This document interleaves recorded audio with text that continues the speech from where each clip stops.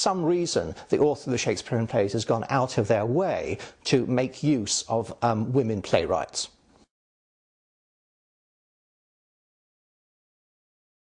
Nobody's ever had any reason to, to, explain why Mr. Shakespeare should have started writing Italian marriage comedies in 1590, 1592, but it, it's a perfect match for Amelia's biography because she was um, at court uh, from up to 1592 when she was living with Lord Hunsdon, and the people she was writing about, the, the, the Tudors, um, were, you know, her fam- essentially the family she was was living in. She was living at court. She was living with you know Henry VIII's son.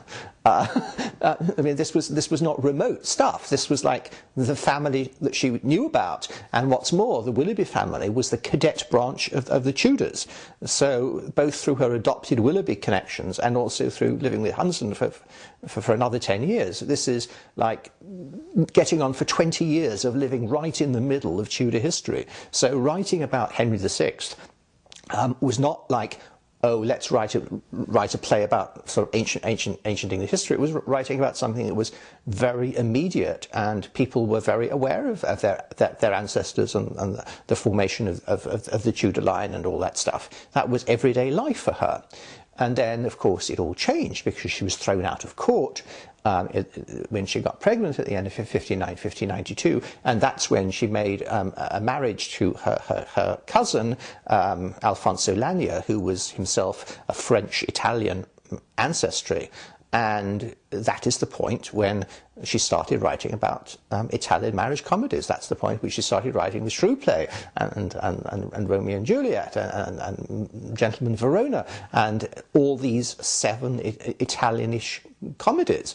Um, they were relating very clearly to, to her own life. And the Shrew play relates very, very clearly to her own life because you, if you look at the, the two different versions of the Shrew play, there's the, um, the Taming of a Shrew, 1594, and the Taming of the Shrew, 15, 15, 1623 folio, um, they, they, one is a rewriting of the other, and it, it, across them you have an Emilia and you have a Baptista and you have an Alfonso and Emilia is her name and Alfonso is her husband's name Baptista is her father's name.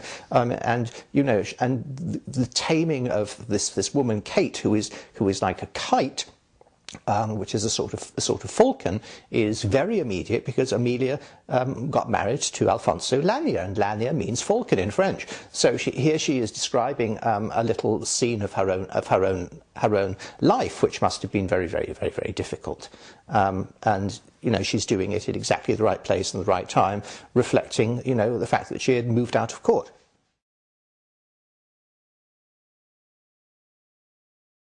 I mean, the most, the most interesting links between Salve Deus and the plays are firstly that Salve Deus contains um, a long crucifixion, crucifixion story. It's 16, 1600 line comic, um, satiric crucifixion portrait.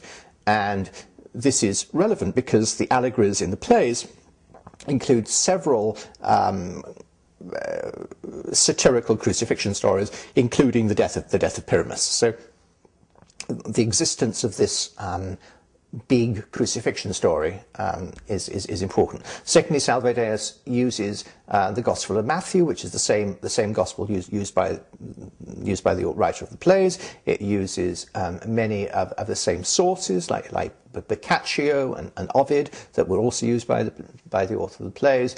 It uses um, a rare word, dictina, which is a word for the, um, the, the, the, moon goddess in a particular spelling that's only found in two places, found in, in Salve Deus and found, found in Love's Labour's Lost. It also uses a number of um, words that were actually invented by the author of the, Shakespearean plays. And um, it, also uses rare word clusters. For example, um, the Cookham poem, which is the end poem of the collection, um, uses references to, to, birds, ditties, and warbling that are used all together, um, that are only, other, uh, uh only found in the Shakespearean plays and found, found, in, found, in, found in this collection of poems by Amelia.